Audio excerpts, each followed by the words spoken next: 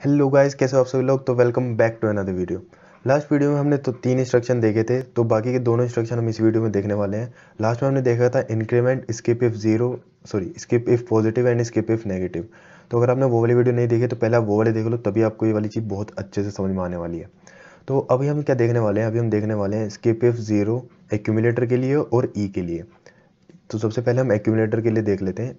S Z ए instruction का नाम है स्किप इफ़ ज़ीरो तो जैसा कि नाम ही है, वैसा कि इसका काम ही है। तो कहने का मतलब पहले हम पॉजिटिव और नेगेटिव के देखा था प्रीवियस वीडियो में और इस वीडियो में हम देखेंगे ज़ीरो के लिए। तो अगर वो ज़ीरो है तो स्किप करेगा अदरवाइज़ नहीं करेगा। ये वाला इंस्ट्रक्शन बहुत सिंपल होने वाले हैं। तो मैं इसमें ज़्यादा टाइम वेस्ट नहीं करने वाला हूँ, जल्दी से हम जाने वाले हैं मोडिफाई पे और न्यू इंस्ट्रक्शन बनाने वाले हैं। लास्ट वीडियो में हमने ये तीनों बनाए थे, अगर आपने नहीं दिखे तो अगेन आप देख सकते हो। तो सबसे पहले है S Z A skip if zero इसका कोड मैं बताता हूँ।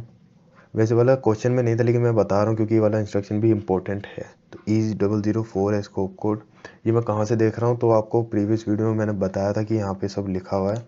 ये वाला जो मेरे पे क्वेश्चन था फॉर्मेट था तो हम इसी फॉर्मेट के हिसाब से चल रहे हैं और इन्हीं के सारे कोड ले रहे हैं। तो आप यहाँ पर देख पा रहे हो सारा। ई डबल ज़ीरो फोर था इसका। ऑल राइट गाइस ये सब मिनिमाइज करना ओके तो हमने इसका कोड डाल दिया है। अब हम चल रहे हैं इम्प्लीमेंटेशन पार्ट पे। तो सबसे पहले हमें कंडीशन चेक करनी पड़ेगी। तो न्यू यहाँ पे। ओके तो अभी हम क्या करने वाले हैं? अगेन जी मैंने आपको बता रखा है कि कंडीशन यहाँ पे उल्टी इंप्लीमेंट होती है। तो हमें इक्वल टू ज़ीरो चेक करना है। तो हमें नोट इक्वल टू ज़ीरो के तरह से इम्प्लीमेंट करना होगा इसे। तो accumulator not equal to reason क्या है मैंने प्रीवियस वीडियो में बताया एक बारी और बताऊँगा, अभी इस वीडियो में थोड़ी देर में बस। यहाँ पे मैं ज़ीरो के लिए चेक कर रहा हूँ। ओके तो बस यहाँ पे एक सेकेंड इसका नाम कहाँ गया? अगेन मैं टाइप कर देता हूँ, पता नहीं कहाँ चला गया वो। Accumulator not equal to zero तो रजिस्टर हमारा एक्यूमुलेटर अरे, इसका नाम कहाँ जा रहा है बार बार? ऑल राइट गैस तो जैसे कि आपको पता है ये डुप्लीकेट वैल्यू की वजह से ले नहीं रहा था तो हमें इसके नेमिंग में कुछ चेंजेस करने पड़ेंगे। तो वो चेंजेस क्या पहले मैं आपको बता देता हूँ, और जिन्होंने प्रीवियस वीडियो का है, उनको भी पता चल जाएगा। तो मैं बता देता हूँ क्या चेंजेस करने वाला हूँ मैं। तो मैं क्या करने वाला हूँ नेम में ना हम ए की ज़ीरो बिट कंपेयर कर रहे थे, सिर्फ़ वन बिट कंपेयर कर रहे हैं हम यहाँ पे, और पहले वाले इंस्ट्रक्शन के लिए, यानी कि पॉजिटिव और नेगेटिव के लिए, अगर आपको याद हो तो हमने सिर्फ़ वन बिट कंपेयर करी थी ये। लेकिन अभी हम ज़ीरो के लिए पूरा का पूरा रजिस्टर कंपेयर करने वाले हैं, क्योंकि पूरा रजिस्टर ज़ीरो होना चाहिए तभी। तो मैं इसका नेमिंग थोड़ी सी और मतलब इसे मॉडिफाई कर देता हूँ। तो मैं यहाँ पे इसकी ब्रैकेट है ना ज़ीरो लिख देता हूँ, ताकि हमें पता चल जाए कि हाँ हम सिर्फ़ एसी की ज़ीरो कंपेयर कर रहे हैं। एक सेकेंड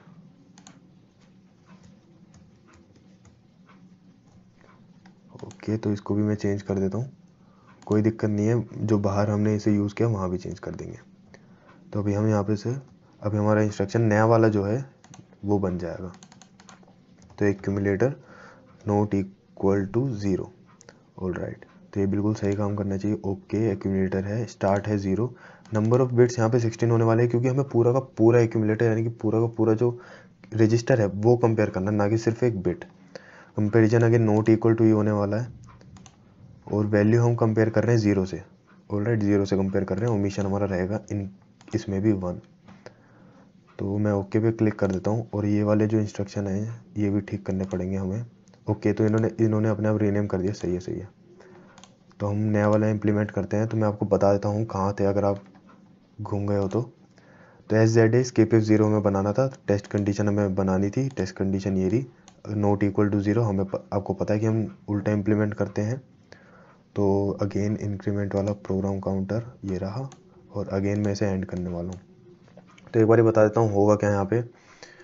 तो अगर सपोज़ करो यूज़र ने ज़ीरो डाल दिया तो यहाँ चेक कर रहा है zero not equal to zero जो कि फॉल्स है।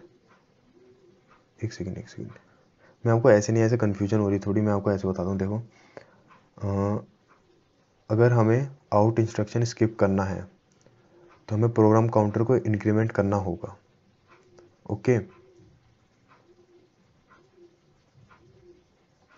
तो इसलिए हमने कंडीशन नेगेटिव इम्प्लीमेंट करी है। तो अगर यूज़र ज़ीरो एंटर कर देता है तो zero not equal to zero जो कि फॉल्स है।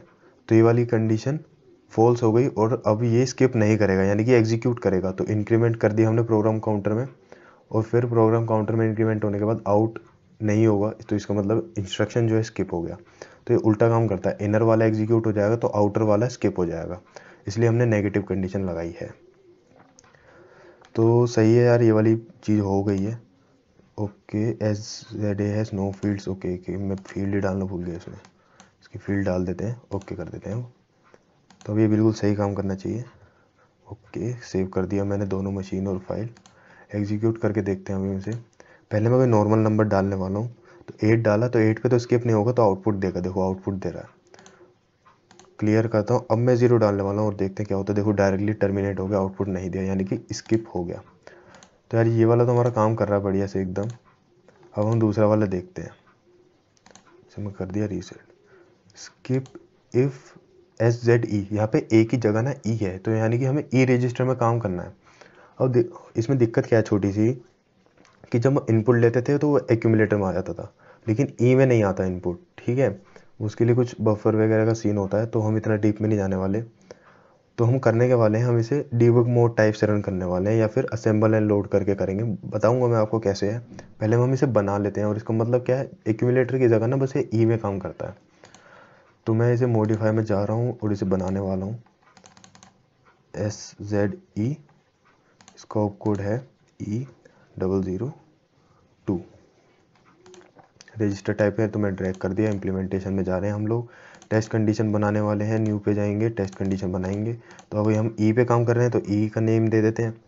E not equal to zero okay तो रजिस्टर यहाँ पे ई e सेलेक्ट कर देता हूँ, क्योंकि हम ई e पे काम कर रहे हैं स्टार्ट बिट वन ही रहेगी। नंबर ऑफ़ बिट्स इस केस में वन इसलिए क्योंकि ई e की लेंथ ही वन है, आपको पता होगा। क्योंकि ई कैरी बिट रजिस्टर है और हमने वन बनाई थी। कंपैरिजन इसका है नोट इक्वल टू अगेन आपको पता है हम डिवर्स क्यों कर रहे हैं। वैल्यू हम कंपेयर कर रहे हैं ज़ीरो से और रिमिशन अगेन सब में वन ही रहता है। तो मैंने ओके कर दिया। टेस्ट कंडीशन में इसे ड्रैग करने वाला हूँ। यहाँ पे ड्रैग भी कर दिया और प्रोग्राम काउंटर में इंक्रीमेंट करने वाले हैं। डिपेंड करेगा कंडीशन के ऊपर ट्रू और फॉल्स और मैं यहाँ पे एंड वाला जल्दी से ड्रैग कर देता हूँ। ओके तो ये वाला इंस्ट्रक्शन बन चुका है। मैं ओके कर देता हूँ और इसे एग्जीक्यूट करके देखते हैं। तो इसे एग्जीक्यूट करने के लिए मैं इसे डायरेक्ट रन नहीं करूँगा कि रन करूँगा ना, देखो ई में ज़ीरो है by default by default E में ज़ीरो है। तो अगर मैं इसे रन करूँगा ना तो ये स्किप कर देगा। तो रन करके ही देखते हैं एक बार इसे।